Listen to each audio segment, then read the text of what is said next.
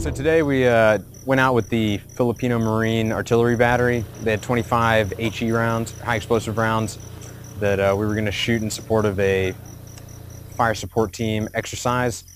The Fire Support Coordination Center and a couple of fire support teams were located up on the observation post down near the impact area.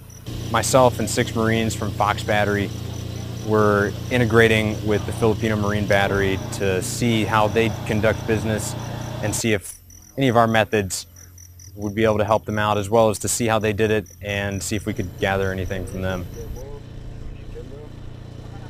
So the weapons and, weapons and ammunition we used today, we used the Mike 101 Alpha 1 howitzer, which is a 105 millimeter cannon, and then we were just shooting high explosive rounds. So the basics of shooting artillery, uh, basically the forward observers out on the hill or an observation post, they'll identify a target. The fire direction center will receive the target location as well as some other information and they'll start creating data that we can send down to the gun line. Once it's good, we'll send down fire commands to the guns and the guns will receive those.